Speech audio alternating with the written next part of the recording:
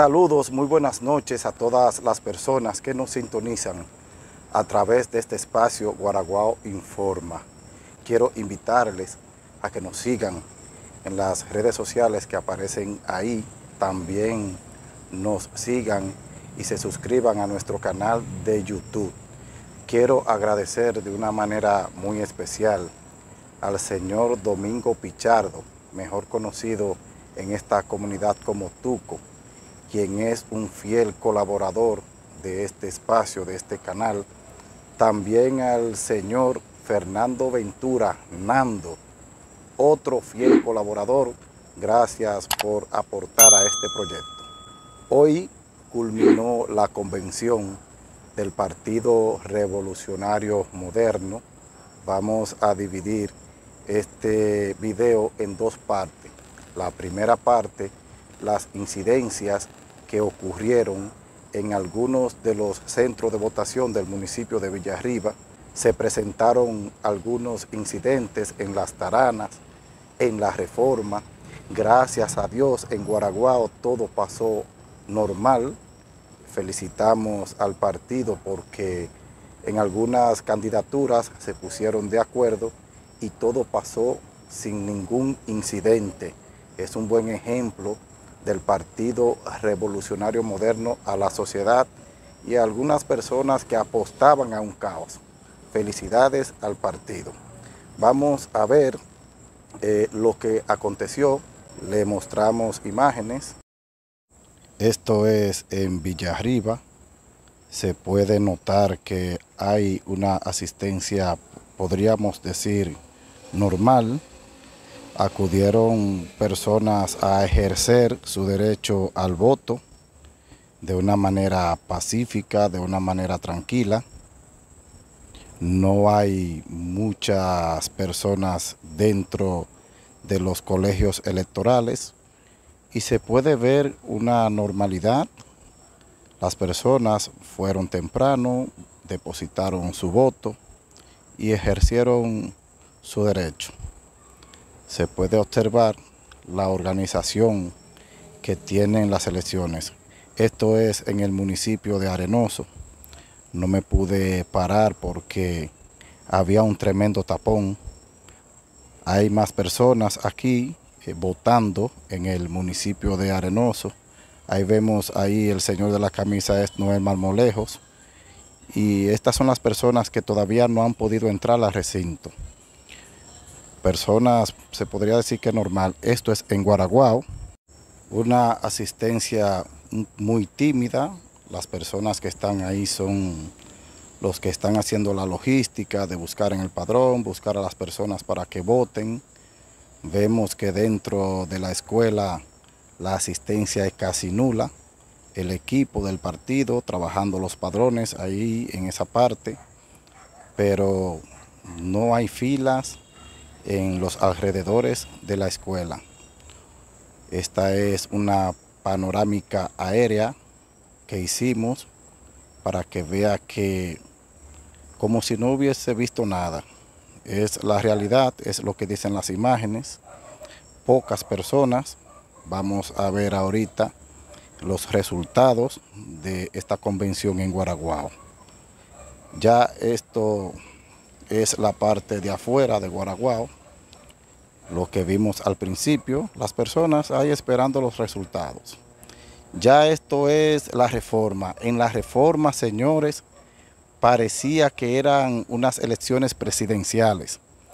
Yo pude notar más de siete filas largas, más de siete filas sin exagerar, muchas personas haciendo fila afuera, muchas personas haciendo fila dentro del recinto, como ustedes pueden observar.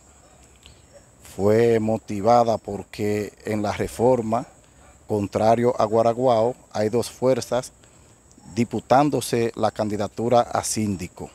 Quizás en Guaraguao fue muy tímida la asistencia porque ya la candidata está definida, solamente se ratificó.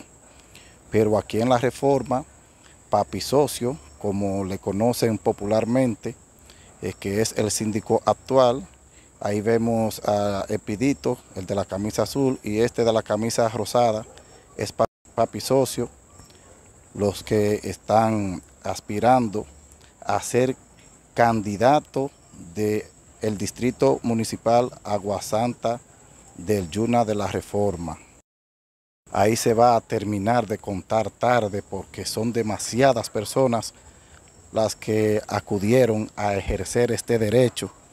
Podemos decir que prácticamente es una convención abierta, se dijo que era una convención cerrada, pero no es un secreto que la mayoría de los votantes del municipio aparecieron en el padrón de todos los partidos. Y aquí vemos que podría decirse que fue una convención abierta. Muchas personas fueron en la reforma. Vamos a ver las tomas que hicimos aérea para que se pueda apreciar. Miren, esto es dentro del recinto. Aquí nada está definido. Aquí no se sabe qué se va a pasar. No se va a saber temprano quién sería el ganador. Señores, vamos a escuchar un inconveniente que hubo durante las elecciones aquí en Aguasanta del Yuna de la Reforma. Carlos Alberto García. Carlos Alberto García. Carlos Alberto, ¿qué fue lo que sucedió realmente? Yo estaba en la fila y le enseñé las credenciales mías al comandante que está encargado de eh, el montaje de la convención aquí. Y él lo, lo único que hizo cuando, cuando yo le enseñé eso, que me dio un trompón en un ojo, que tengo problemas. ¿Por qué? Porque él está haciéndole la vida imposible a uno. Y, lo, y esto lo sometí a la acción de la justicia, lo llevé para arriba este caso y le estoy pidiendo a los cuerpos judiciales que sea sometido a la acción de la justicia por estar utilizando los métodos arbitrarios. Fue el jefe del encargado del montaje de la convención de aquí, del centro, de la Escuela Primaria de la Reforma. Pedimos disculpas por el ruido de los motores que andan algunas personas, parece todavía celebrando esta fiesta de la democracia del Partido Revolucionario Moderno. Es, es lamentable lo que sucedió con el profesor Pingua de la Reforma, que un policía, un encargado de mantener el orden, le apagó un ojo bien apagado. Esta situación debe de, de evitarse. La policía está para poner el orden no para hacer desorden. Vamos inmediatamente a ver los resultados de Guaraguao, los resultados de la reforma no lo tenemos porque como ustedes pudieron apreciar en el video, son muchas las personas que acudieron a votar y yo dudo que a las 10 de la noche o quizás a las 11 todavía no haya un resultado. Pero sí tenemos desde temprano los resultados de la convención en Guaraguao y esta quedaron de la siguiente manera. En el nivel presidencial se obtuvo un total de 601 votos, dividido de la siguiente manera. El presidente y candidato Luis Abinader obtuvo 514 votos para un 85.36%. En cambio, Guido Gómez Mazara obtuvo 74 votos para un 12.31% y Ramón Alburquerque obtuvo 13 votos para un total de un 2.16%. Y vemos aquí que para ratificar a, la candidata del PRM por este distrito municipal, Cristo Rey de Guaraguao, la señora Areli Fermín obtuvo un total de 623 votos. Ratificaron los compañeros y simpatizantes del Partido Revolucionario Moderno a la señora Areli Fermín con un total de 623 votos. Estas cifras están ya confirmadas, por eso esperé un poquito más para dar estos resultados y quedaron de la siguiente manera. En el nivel de las regidurías se presentaron cinco candidatos y obtuvieron un total de 619 votos, quedando distribuidos de la siguiente manera.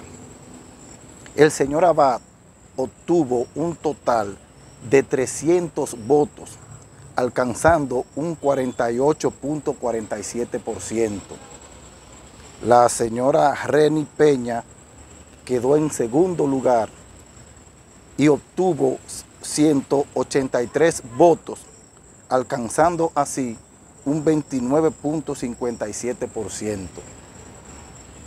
La señora Clary queda en un tercer lugar con 116 votos, alcanzando así un 18.73%.